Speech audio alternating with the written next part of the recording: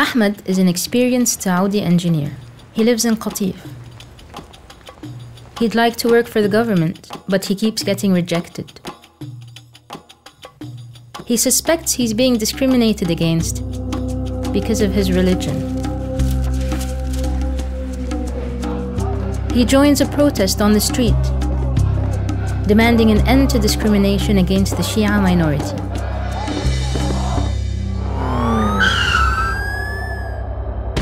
The police arrest him.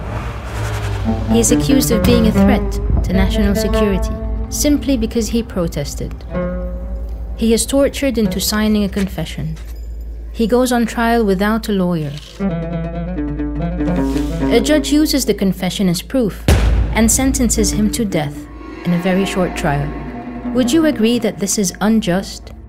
Saudi human rights defenders definitely think so. They help defend people in court they defend your rights, no matter who you are. Saudi human rights defenders fight for your right to a fair trial. Share this video.